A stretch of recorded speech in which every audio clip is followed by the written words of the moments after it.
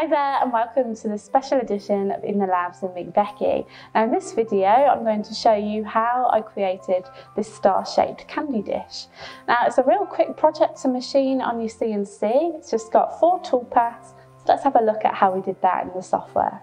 I've created this file in VCarve Pro, however this can be opened in both VCarve Desktop and Aspire. So once you've downloaded the project folder, uh, you want to open the starlightcandydish.crv file. Okay, so here's an important note. This is just warning you that you should always check and recalculate uh, your toolpaths, uh, making sure that they're safe and appropriate for your material, the CNC machine that you are using, and the tools that you are using. So we're just going to OK that. Right then, so let's first take a look at our job dimensions. So I'm working with a job size of 13 by 13 inches. I'm actually working with worktop surface material. And so that has quite a uh, nice depth there of 1.617 which is going to be perfect as we're wanting to create a dish for our candy to sit inside. In terms of the vectors, uh, we have three simple sets of vectors. We've got a star, so I drew this using the star tool. I just simply drew out till I was happy with the size that we've got there. And then to create the star inside, I just took this vector here, used the offset tool where I offset that inwards by half an inch, ensuring that we have create sharp offset corners switched on to create the sharp internal and external corners of the star. Okay, so that's how we created those two vectors. Next, the text. So here I use this tool here, the draw text tool. If we open that up, we can see uh, some of the details there. So I entered the text, starlight, shine bright just like the song. You can change this if you want to by just entering your own text. The font that I used was BrushScript MT, uh, and then again, you can change the font and the height of the text to whatever is appropriate for you. So close out there, and that's pretty much it. So at this stage, I then went over to the toolpaths tab. So here you can see I've already created the toolpath. So I'll walk you through each one um, and talk about um, the settings that I used. So to start with, uh, let's take a look at the material setup. So here I'm using the lower left hand corner for our X0, Y0 position. For the Z0, I'm doing that off the material surface. Right then, so first off, I used a pocket toolpath, which is this icon here and what I created was a pocket toolpath where we're cutting down one inch. So I've put one inch in there. We're using this vector so we're clearing everything inside of this vector here. And I'm using two tools to cut this out. So first off I'm going to use a larger tool. Uh, so I'm going to check this option here. And here I'm going to use a half inch end mill just to clear the majority of the inside of that vector there and once that has been machined away, we're going to go in for a tool change where I'm going to change that down to a smaller tool so we can get in at those corners on each point of the star. And the tool I'm using for that is 0.233 inch end mill. We're doing this in an offset strategy, so it will start in the center and work its way out.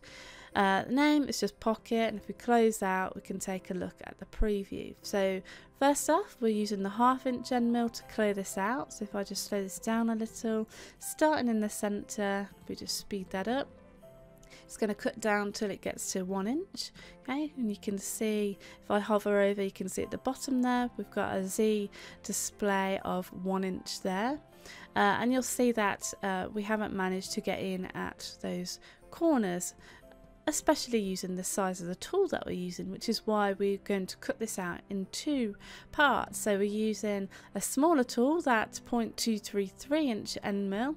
And if I just switch the visibility there you can see that it's just only getting to the areas that haven't been cut away which uh, makes this quite efficient. So you can see it's just getting in at the corners there and it's just getting to the out line of the star. So if we go ahead and preview that, I'll just slow that down. See it's just getting in at the corners like so until it reaches that one inch depth. Okay, so that uh, is the pocket toolpaths complete. Uh, then we have some text that we want to V-carve into our dish. So here I used a V-carve toolpath, which is this toolpath here. So if I just double click onto the toolpath that I've already created, you can see that we're using this text here. We're setting a start depth of one inch because we've already machined away uh, down one inch. So we're going to start at one inch using a 60 degree V-bit tool. And if we close out, we could go ahead and preview what that looks like and that's how that will cut okay? So I like what we've got there. And then finally we're going to cut this out using a profile toolpath which is this toolpath here. Again I've already created this let's double click on that to see the settings. So the cut depth we're cutting all the way through the material using a 0.233 inch end mill. Machining on the outside of that outer vector uh, we're going to add tabs to that toolpath. So the yellow squares with the T on represent our tabs. I've got a tab length of 0.35 and a thickness of a quarter of an inch. Calculate that, preview it. We can see the tabs are holding our star dish in place and that's pretty much it. Okay, so I'm happy with the preview there. So at this stage, we can close out, go ahead, save those toolpaths, and then we'll move over to the labs. So here is the first of four toolpaths and this is the clearance part of our pocket toolpath. And so here we are using a half inch end mill to clear away the majority of that star shaped pocket.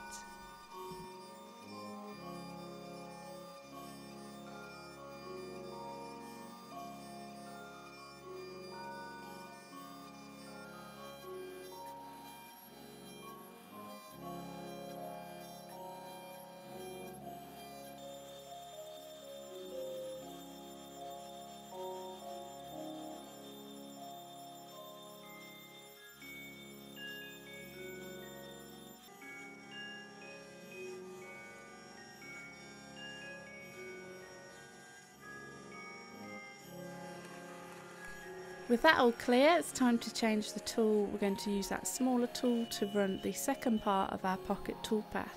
And that smaller tool will just get in at all the corners where that larger tool couldn't. And then we have the V bit here running that V-carve toolpath uh, to carve the text inside of our dish.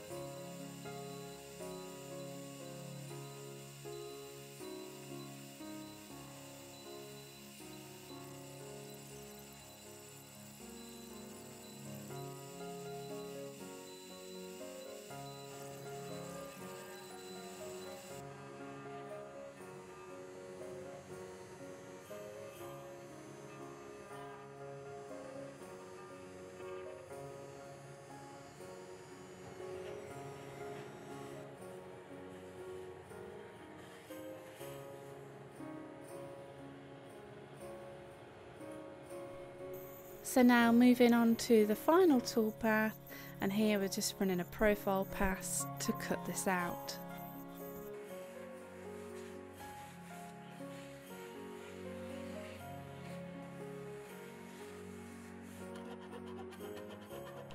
So the dish was held in using tabs, so now we're just going to remove them using a saw. And to completely remove the tabs as well as clear up the dish in general, I'm to use a variety of sanding equipment just to really give this a nice smooth finish. One other thing that I did was I actually sanded off each point of the star. They're a little too sharp, uh, so I wanted to just cut that back a little. So in hindsight, what I should have done was actually rounded the points uh, of the vectors in the software just to save the time on doing this.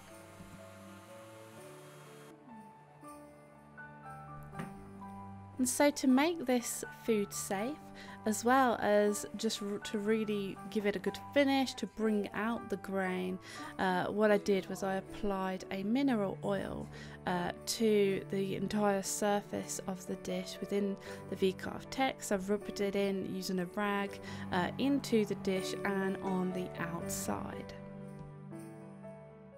Okay, and so here is the finished candy dish. Now, if you fancy having a go at creating your own version of this project, then simply head over to your V&Co account where you can download the project files from there. And if you do end up creating your own version, then please share that with us either on the Vectric forum or across one of our social media channels. We love to see what you're making.